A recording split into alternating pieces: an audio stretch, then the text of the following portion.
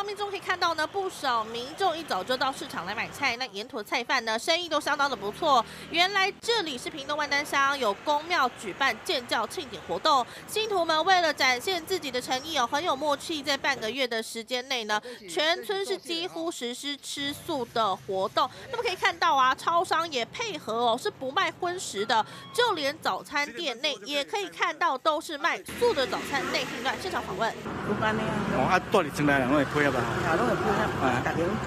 嗯，吃荤的话，会不会会不会那个？不会啊，就因为要拜拜。因此开车，嘿，诶，十一点十一点半开车，哎哎，啊，所以阮就会使两早来买。哦，啊，今仔日来这摆摊，到今敢敢有人来买？哦，足多，我真买不完啊。好，那么吃素活动呢，从十月二十四号开始，为期十三天的时间。那么今天也就是五号是最后的一天，不少卖肉摊贩呢开张做生意，主要是配合下午的普渡拜拜用的。那么有人认为呢，这吃素的活动相当的不方便，也有人表示尊重。那么尽管是村庄大事，传统已久，不过消息一出呢，还是引发讨论。